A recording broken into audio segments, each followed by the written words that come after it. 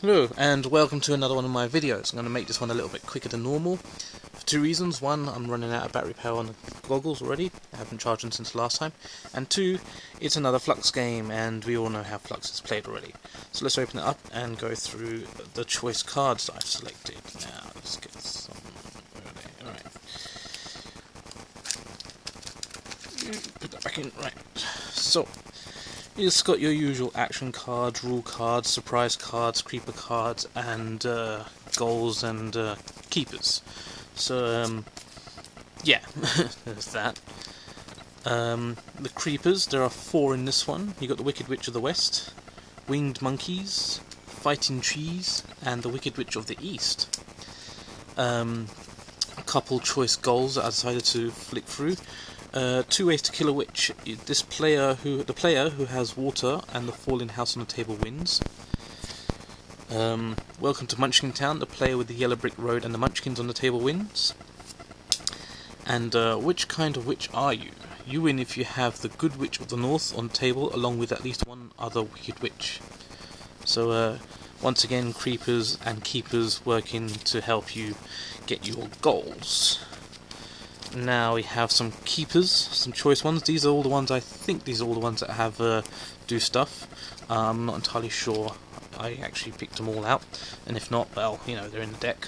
So we've got the Woodman, the Tin Woodman, sorry, Tin Man. Uh, and this one says, during your turn, if you have this on the table, you can discard the fighting trees if you have them.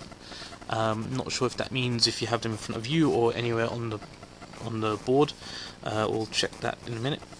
Good Witch of the North, if you have this on the table, you can move one of your creepers to another player. The Fallen House, during your turn, if you have this on the table, you can discard it along with the Wicked Witch of the East, only the Wicked Witch of the East, and you have to discard this card with the Creeper card, Wicked Witch of the East, so you will lose that Keeper. And then you have the Water Keeper, uh, you can discard the Wicked Witch of the West, uh, the difference between this one and the Fallen House is that, um, and it's only the Wicked Witch of the West, is that you can keep the water because there appears to be an abundant supply of water, but not an abundant supply of um, fallen houses that will stay in one piece once it lands. and then, of course, you've got Toto. So those are some keepers. get them back in the deck there. So it came today. I haven't actually shuffled them up yet. In fact, I haven't shuffled up a couple of the other ones that I've got. Um, but you know, I haven't played them yet. So a uh, quick look at the uh, rules, uh, your typical normal stuff on this side. But what I found on this side is that there are a lot of frequently asked questions on this one, taking up most of the back.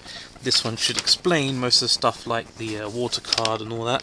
Uh, let's see, one here for example is the water and fallen housekeepers can both be used to discard one of the witches. Can she be anywhere on the table or only in front of you? The answer is the uh, wicked witches can be anywhere on the table. So, uh, so you have the water and fallen house here. Someone else has the wicked witch of the east there, wicked witch of the west there. You can discard, I think, only one during your turn, or maybe both, possibly both. But that's if you want the other players to win or lose, depending on the goals.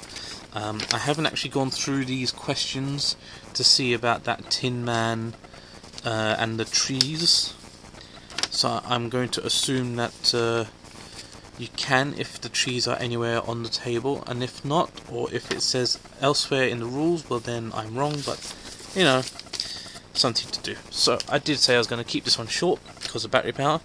Um, this is Oz Fluxx number, let's see, one, two, three. Uh, so the fourth one I've got of my own collection.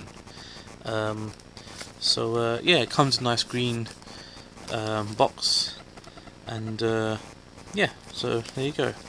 That's Oz Fluxx.